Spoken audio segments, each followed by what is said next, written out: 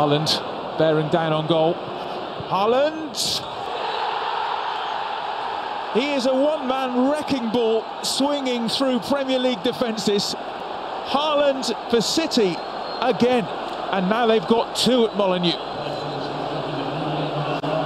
I think this is a bad goal to concede for Wolves, just when they were enjoying a better spell of possession.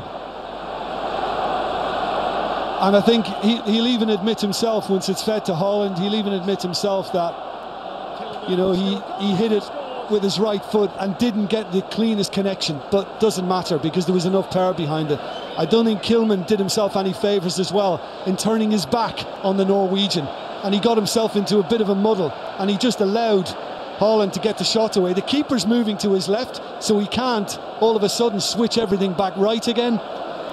And um, a level of comfort now for the champions. 11 goals in his first seven Premier League appearances. Overall for City, 14 goals